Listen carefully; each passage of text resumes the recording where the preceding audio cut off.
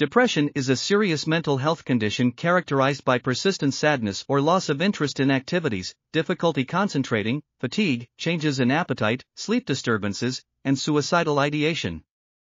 Current diagnostic tools for depression are limited and often subjective, making it difficult to accurately identify and treat the disorder.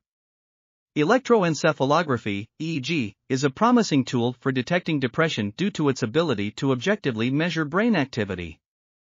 However, existing EEG feature extraction methods have not been able to capture the intrinsic patterns of EEG signals, resulting in poor performance in depression recognition. We proposed a novel regularization parameter based improved intrinsic feature extraction method of EEG signals via empirical mode decomposition, EMD. This method uses an appropriate regularization parameter to generate a regularization matrix, which is then used to calculate the sum of the matrix products of the intrinsic mode functions, IMFs, and the regularization matrix. Finally, the inverse of this matrix is leveraged to extract the intrinsic features.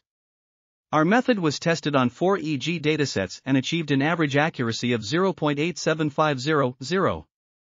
This article was authored by Jian Shen, Yan and Zhang, Huajian Liang, and others.